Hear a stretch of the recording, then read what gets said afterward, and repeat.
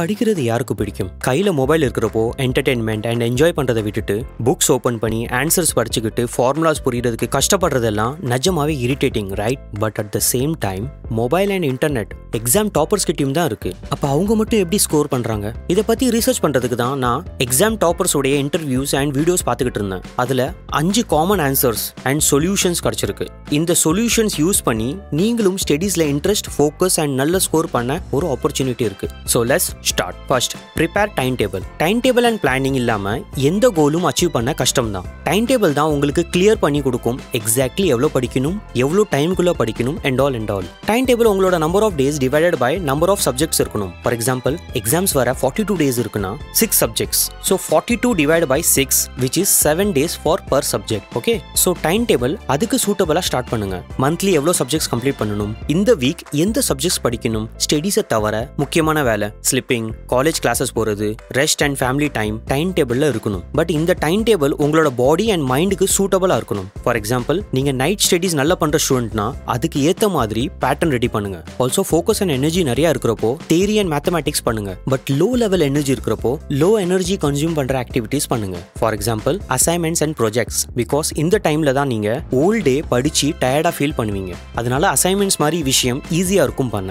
Second practice mock test that is dummy test நீங்க time table follow பண்ணி நல்லா படிச்சா கூட கொஞ்சம் கொஸ்டின்ஸ் டைம் கம்மியா இருக்கிறனாலேயோ இல்ல ஞாபகம் இல்லாதனாலேயோ மிஸ் பண்ணிட்டு வந்துட்டீங்கன்னா படிச்சு என்ன use but mock test practice பண்ணுற ஸ்டூடெண்ட்ஸ்க்கு மிஸ் ஆக சான்சஸ் இருக்காது. இப்போ என்ன எடுத்துக்கோங்களேன். எந்த ஆன்சர்ஸ் படித்தாலும் அதை வேற புக்கில் பார்க்காம எழுத ட்ரை பண்ணுவேன். இதனால பயம் போயிடும் தப்பு எங்கே நடக்குதுன்னு புரியும். எக்ஸாம்ஸ் டைம்ஸில் ஓல்ட் கொஸ்டின் பேப்பர் சால்வ் பண்ணுவேன். இது மாதிரி டம்மி எக்ஸாம்ஸ் கொடுக்கறதுனால எனக்கு ரெண்டு benefit first question paper pattern subconscious மைண்டில் கிளியராக இருக்கும். செகண்ட் டைம் அலோகேஷன் எந்த கொஸ்டின்ஸ்க்கு எவ்வளோ டைம் கொடுக்கணும்னு கிளியர் அண்ட் கான்ஃபிடென்ட்டாக இருக்கும். ஸோ எவ்வளோ முடியுதோ அவ்வளோ ப்ரீவியஸ் இயர் பேப்பர் சால்வ் பண்ணுங்க. தேர்ட் கிரேட் ப்ரெசன்டேஷன் எட்டு மார்க்ஸ் ஆன்சர் நீங்கள் கம்ப்ளீட் பண்ணி அது கரெக்டாக இருந்தாலும் ப்ரெசன்டேஷன்ஸ் அண்ட் நீட்னஸ் இல்லைன்னா ஆறு மார்க்ஸ் கூட கிடைக்க கஷ்டம் தான் நீங்கள் எழுதியிருக்கிற பேப்பர் த்ரீ ஹவர்ஸாக இருந்தாலும் அதை செக் பண்ணுறது என்னமோ எக்ஸாமினர் டென் டு ஃபிஃப்டீன் மினிட்ஸில் தான். ஸோ அவங்களுக்கு செக் பண்ண எவ்வளோ ஈஸி அண்ட் கிளியராக இருக்கோ அவ்வளோ மார்க்ஸ் கிடைக்க சான்சஸ் அதிகம். ஆன்சர்ஸ் ரிலவெண்ட்டாக இருக்கணும் முடிஞ்சால் டயக்ராம்ஸ் அண்ட் டேபிள்ஸ் யூஸ் பண்ணி எக்ஸ்பிளைன் பண்ணணும்.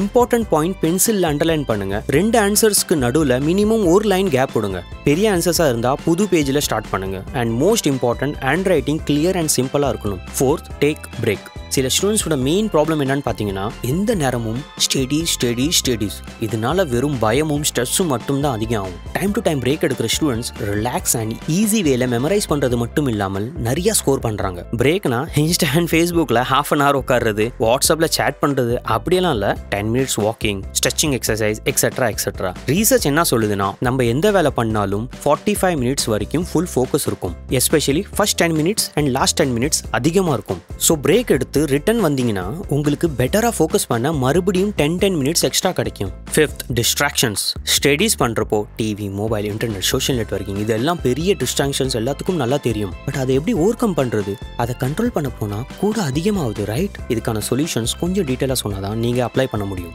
ஸோ நெக்ஸ்ட் வீடியோவில் டீட்டெயிலாக பாயிண்ட் டு பாயிண்ட் ஷேர் பண்ணுறேன் அப்போ தான் நீங்கள் எஃபெக்டிவாக அப்ளை பண்ண முடியும். மோஸ்ட்லி இந்த வீக்லேயே வீடியோ ரிலீஸ் பண்ண ட்ரை பண்ணுறேன் வீடியோ பிரிச்சிருந்தா லைக் பண்ணுங்க. இது மாதிரி யூஸ்ஃபுல் அண்ட் மோட்டிவேஷனல் வீடியோஸ் பார்க்க மிஷன் ஃபை கிரியேஷன் சேனலை சப்ஸ்கிரைப் பண்ணுங்க.